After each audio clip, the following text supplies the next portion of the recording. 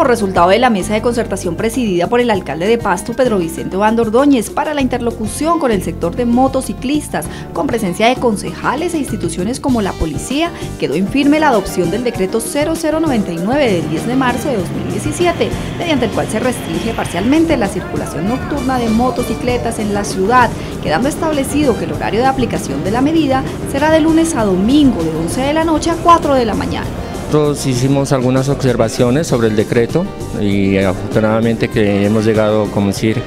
hemos puesto un hilo de equilibrio y que beneficia a todos los propietarios de motocicleta. Entre los ajustes al decreto 0099 también se incorporó la prohibición de la movilidad de grupos de motociclistas o las denominadas motadas, la inclusión de sanciones a sectores sociales no incluidos anteriormente, como trabajadores de clubes sociales, bares y griles, motociclistas proveedores o distribuidores de productos y abastos, autoridades y líderes indígenas, así como la disposición de la línea de atención de tránsito a la ciudadanía a través del código 127 o el teléfono 721-9750. Hablamos sobre la implementación del decreto 0099, la aplicación muy concertada, se lograron incluir exenciones que ellos eh, solicitaban se incluyan, fueron atendidas y el decreto continúa en vigencia. En esa mesa eh, estamos analizando temas relacionados con la transparencia en, en la Secretaría de Tránsito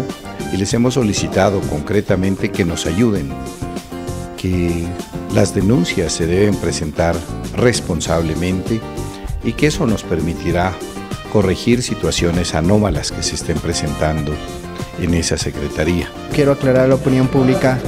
que esta mesa de concertación no es para legalizar el mototaxismo, ¿no? sino es para encontrarle una alternativa a los trabajadores informales como son también los mototrabajadores. Yo creo que hoy se dejan unos temas en mesas, se acaba de, de analizar el decreto 0099 y mediante concertación se hace un acuerdo pues que empezará a regir ya este decreto. La mesa de trabajo sobre seguridad vial entre la administración municipal y los motociclistas también permitió la concertación de acuerdos con intereses comunes que favorezcan la protección de la vida y el bienestar colectivo de la ciudadanía. Estamos en ese proceso. Nosotros pensamos de que todos podemos aportar a la, a la seguridad vial y la, administración está con las puertas abiertas, que es lo más importante. Estamos hablando también sobre compromisos que ellos han adquirido en acuerdos de pago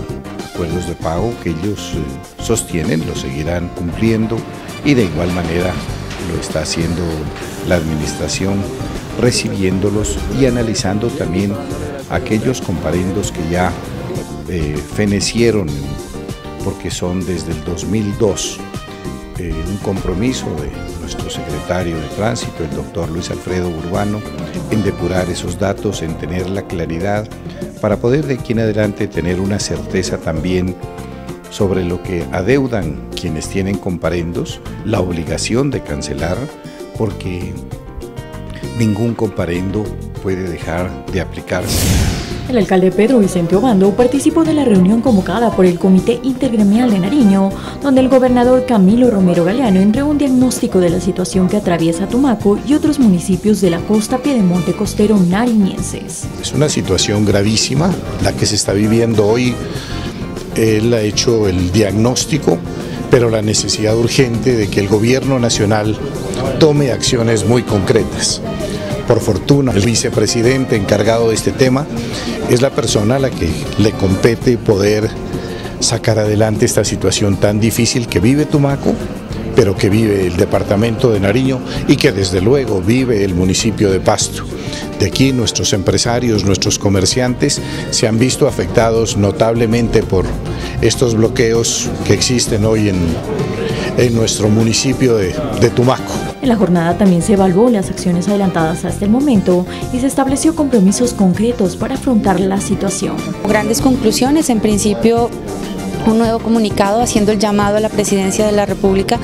para que eh, fije toda su atención como punto prioritario el municipio de Tumaco, que sea el departamento de Nariño el primero en su agenda, el municipio de Tumaco, y eh, una comisión ya conjunta con todos los ministros para poder em, empezar a estructurar esa estrategia integral de la que habla el señor gobernador, pero con el territorio. Este miércoles 19 de marzo se realizará una reunión con la bancada parlamentaria en Bogotá para unificar la posición que se tiene como unidad regional.